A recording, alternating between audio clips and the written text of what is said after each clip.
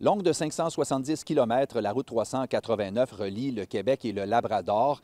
Elle est en partie en gravier et présente un profil assez sinueux. Pour améliorer la sécurité des usagers, un vaste chantier, d'abord évalué à 525 millions de dollars, a été amorcé en 2020. Mais plus le temps passe, plus la facture grimpe. Le budget a été réévalué pour s'établir à 738,1 millions de dollars.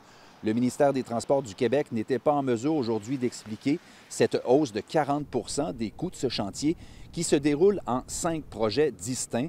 Il y a certains travaux qui sont terminés, dont les premiers kilomètres au nord de Bécomo, mais certains autres tardent à démarrer. C'était le cas jusqu'à tout récemment d'un nouveau tracé de 45 km qui sera construit au sud de Fermont. Les travaux devaient débuter l'an dernier. Le ministère des Transports n'arrivait pas à trouver une firme pour la surveillance du chantier.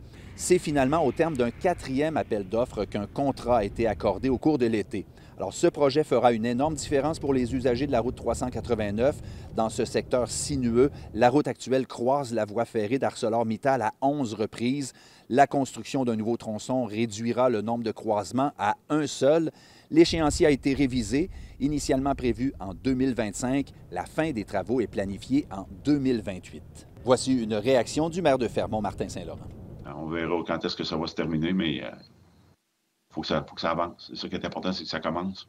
Martin Saint-Laurent espère toutefois que le ministère des Transports va s'engager rapidement à paver ce nouveau tronçon de la route 389. C'est que les sections en gravier se détériorent, particulièrement le printemps, rendant la route parfois presque impraticable. Il faut trouver des sous pour, euh, pour euh, compléter tout ça. On a, on a quatre ans de travailler fort et en espérant qu'on va trouver euh, un moyen d'asphalter ça et d'avoir le budget pour le faire. Alors pour la compagnie ArcelorMittal, l'élimination des croisements de la route avec la voie ferrée constitue un net avantage sur le plan de la sécurité.